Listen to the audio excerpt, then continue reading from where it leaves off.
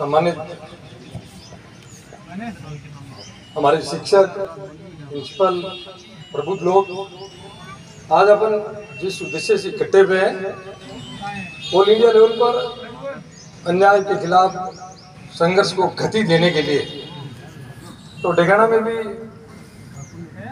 बजरंगलाल जी सोच से जिनसे निवेदन है कि मांगीलाल जी और उगाराम जी गिरधा जी, जितने प्रकाश जी, जो भी लोग इस कमेटी में रह जाएँ और कमेटी बना करके जो अन्याय के खिलाफ राजधानी में चारों तरफ़ से यूपी और हरियाणा से उनसे जब उनके खिलाफ लोग इकट्ठे हो रहे हैं संघर्ष के खिलाफ हेजिटेशन कर रहे हैं तो अपने